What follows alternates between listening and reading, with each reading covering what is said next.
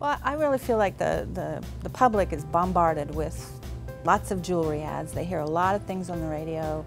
Um, obviously, they don't know who to believe. I mean, according to everybody, they have everybody's got the best prices, right? I mean, if I have the biggest selection and the best prices in town, and everybody's saying it, it doesn't mean a lot.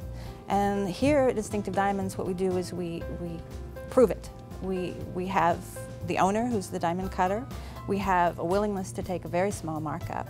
And we actually show you a wholesale price list that, so you can understand how much under wholesale we really are. Well, when a customer walks into our doors, the first thing we really want them to do is feel relaxed and comfortable. Um, you know, we're here to help them select that perfect ring. And, you know, that's the most important part to her is what the ring looks like, the style.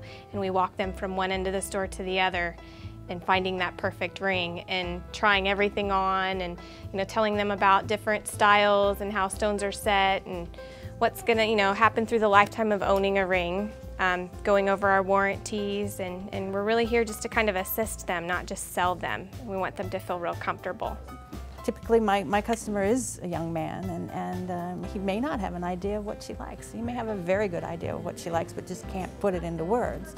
And uh, that's what we try to do here. We try to, to match up the desire for the ring, the, the way that it should look. If we have an element from this ring and an element from that ring, and it needs to be put together, we have the designer that can do that. I really like working with my hands. I like creating. I like being able to help people realize their dream for a specific piece. I've had customers that have made memorial jewelry, which is very rewarding. Um, to be able to help them come up with this design that they want.